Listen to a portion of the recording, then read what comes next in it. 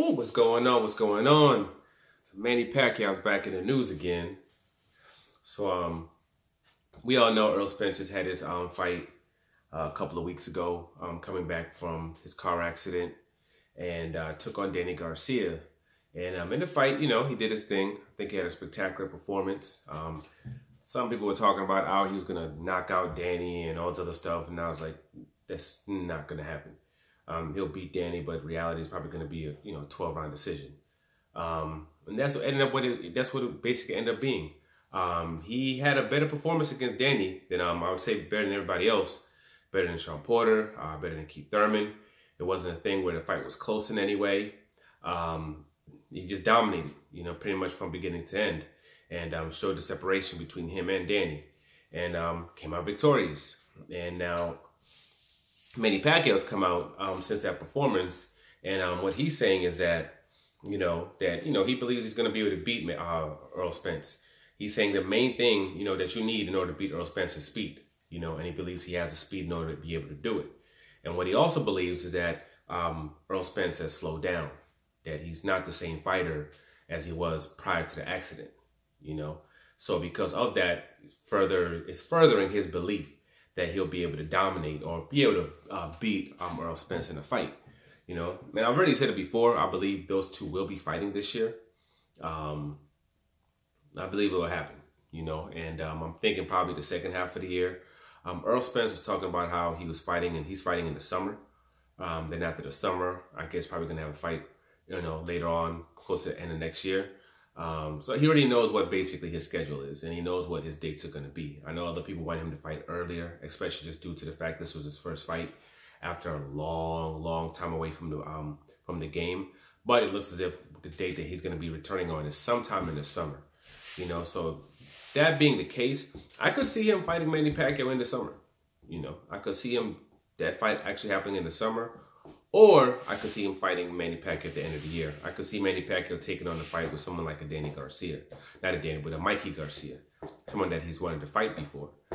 But I could also see him taking on Errol Spence next. You know, people have been talking about this Conor McGregor thing, him fighting a Conor McGregor. I don't see that happening um, with the amount of money and funds that Conor McGregor's generating.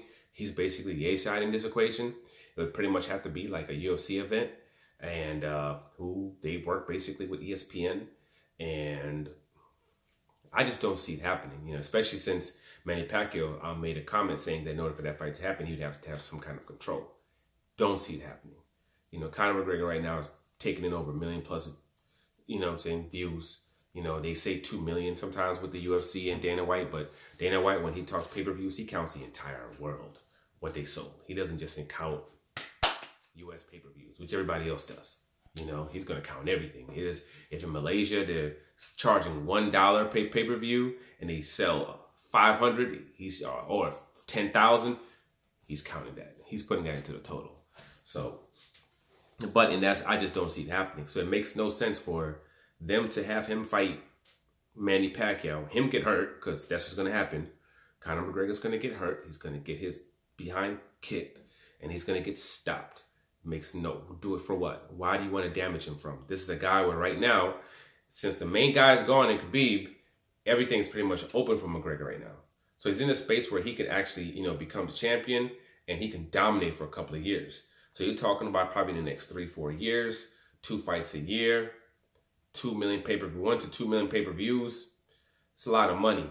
So at first glance, a Manny Pacquiao fight might seem like a big thing, but if you look at it long term, it's not in their best interest to do that fight.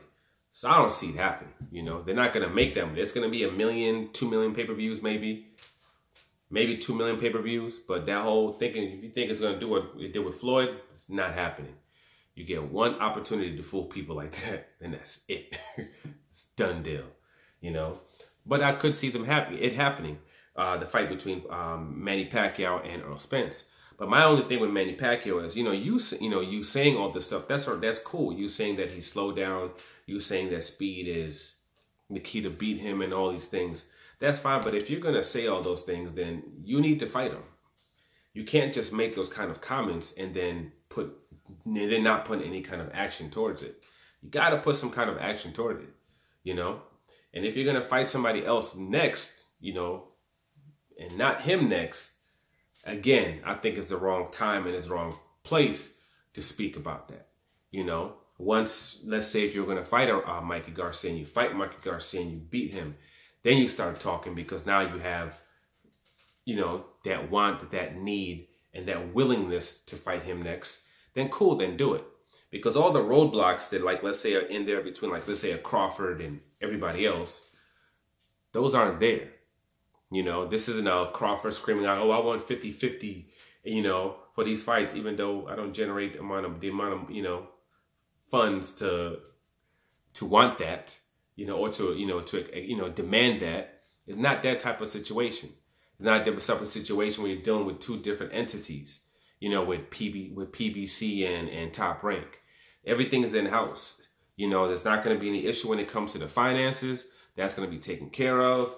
Whether because there's not to be any issue with getting gypped like a Bob Arum's going to do. You know, money being hidden from you like was done with Manny Pacquiao when he was with Top Rank, when he was with Bob Arum, who literally stole hundreds of millions of dollars from him. Um, you don't have to worry about any of that stuff, you know, when you're uh, in this particular situation. All is basically the only question is, do you want to fight him next or not? That's it.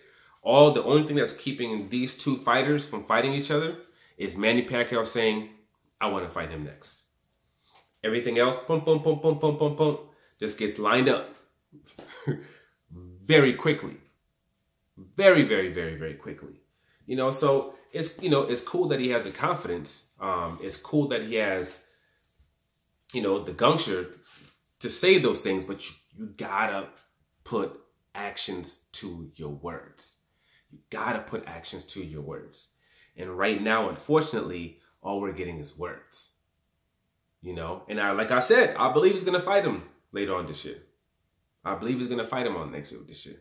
But if you're going to speak, if you're to continue making these type of comments, when he fights, if you're to be putting those things up, the you know the senators watching and all these type of things, then you have to put that action towards it and set it up and actually fight him. Not only talk about this, but show us. Because a lot of people say Errol Spence versus Terence Crawford is the biggest fight that can happen in the welterweight division, I have to say 100% F no. It's not. People can say what they want. I understand that's what the assumption is. It's not. The biggest fight that can be made right now in the welterweight division is Manny Pacquiao versus Errol Spence. You got two people, you know, who both do generate pay-per-views, who both generate high gates, who both have their huge fan bases you know, and you get those two together, even though all the Manny Pacquiao fans were not buying the pay-per-views before, they're going to buy this one. They're going to buy this one. You know, this is a fight where it just, it, it will transcend boxing. You have a one person in that equation that transcends boxing. And when a person like that faces someone of this level of, of competition, of this caliber, it's fireworks. This is would be the first boxing event to sell over a million pay-per-views in the United States, I believe, in a long time. You know, in a very, very long time. So we have to see how, you know, everything pans out. With everything that's going on in the world, you just don't know, man. Everything's just day to day. So you just don't know. But we'll see. But for now, like, subscribe, share. I'm out.